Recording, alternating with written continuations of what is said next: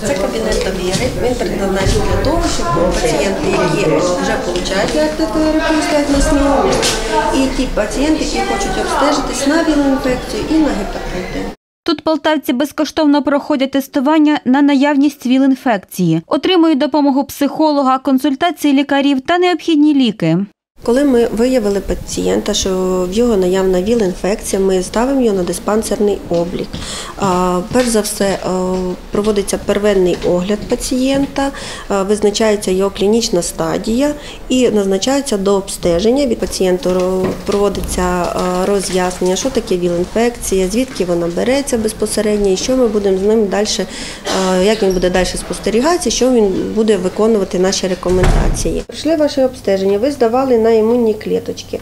А Попереднього разу у вас було 437 клеточок, е, зараз е, відслідковується при 637. Олена Маркевич каже, щоб слідкувати за здоров'ям пацієнтів, лікарі щомісяця перевіряють їх показники крові. Це роблять ось у цьому маніпуляційному кабінеті. Ми набираємо системою вакутайнером. Все в нас одноразове і для того, щоб захистити себе і пацієнта. Препарати, що пожиттєво приймають віл-інфіковані люди, видають безкоштовно, каже Анна Міщенко. Закуповують ліки за гроші обласного бюджету та благодійних фондів.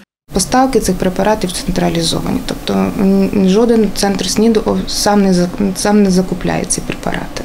Абсолютно схеми підбираються індивідуально для кожного пацієнта. А РТІ призначені для того, щоб покращити якість життя люд- цієї людини. Імунна система поступово починає відновлюватися, і такі люди е, мають змогу жити на, ну, на, на повну- повному обсязі, на повні, ж- повні груди, працювати, е, виховувати дітей, е, народжувати здорових дітей.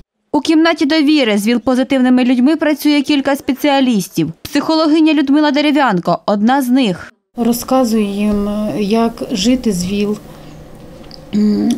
які повинні бути норми життя. Розказую, що ВІЛ-інфекція зовсім не вирок зараз від ВІЛ-інфекції. Жодна людина не помирає.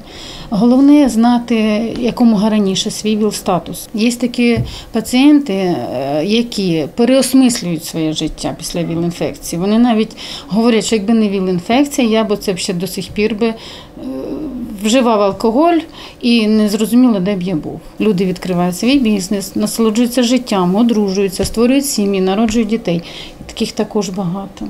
За даними Полтавського центру профілактики ВІЛ-інфекції та боротьби зі СНІДом, наразі в області на диспансерному обліку 3666 людей, з них 178 дітей. Вікторія Чиж, Микола Юрьоменко, Полтавські телевізійні новини.